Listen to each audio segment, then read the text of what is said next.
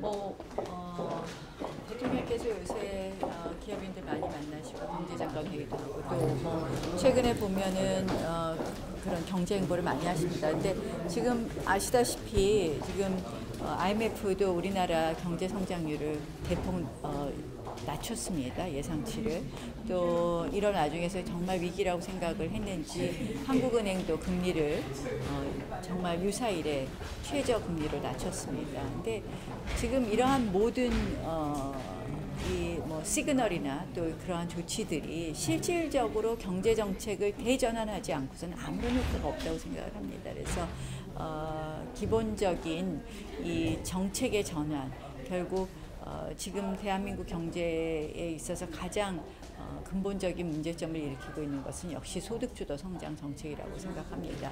이 소득주도 성장 정책의 전환, 또 노동시장의 유연성 확보 이러한 부분에 대한 어, 뭐 이 정책 변화 없이 그 보여주기식 행보로서는 어떠한 효과도 이룰 수 없다는 부분을 분명히 해드립니다.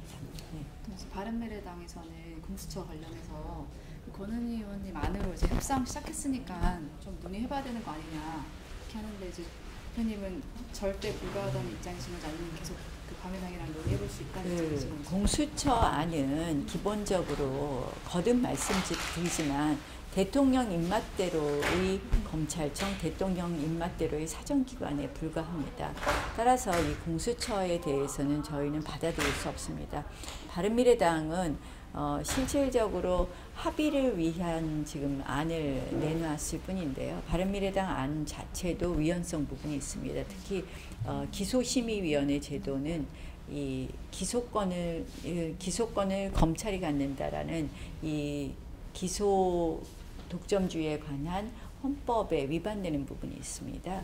그래서 실질적으로 이 안은 아마 궁여지책으로 여당의 그 터무니없는 공수처안이 통과될 것을 대비해서 조금 더 수정한 안에 불과하기 때문에 근본적으로 공수처에 대해서는 저희는 어, 논의하기 어렵다는 말씀을 다시 한번 드립니다. 그래도 한국당만의 그런 공수처 안을 좀 만들 수 있지 않을까 저희는 공수처는 필요 없다고 생각하기 때문에 오히려 공수처는 저희는 어, 저희가 여당이든 야당이든 똑같이 주장했습니다.